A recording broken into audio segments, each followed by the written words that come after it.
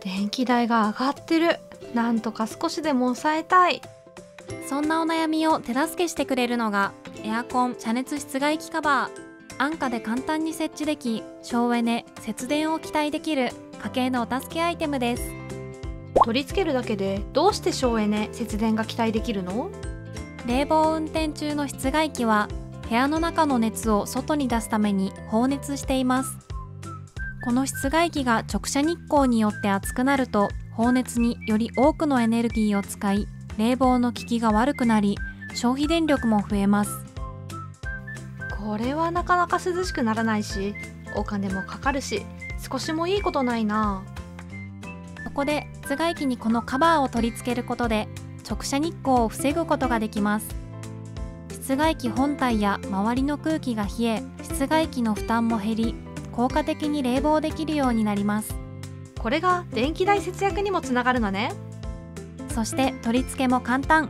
ベルトのある面を下にしておきベルトを室外機に巻くだけ。サイズは約85センチ ×47 センチ。バンドの長さは230センチ。サイズの調整も可能で大きいサイズの室外機にも取り付けできますご家庭の室外機にカバーを取り付ける時の確認ポイント。まず室外機のサイズを確認します。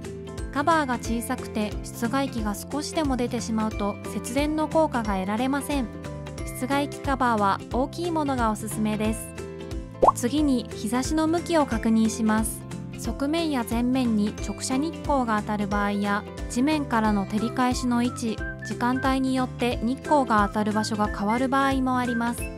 カバーの位置を調節しましょう。こうすることでより節電も期待できます。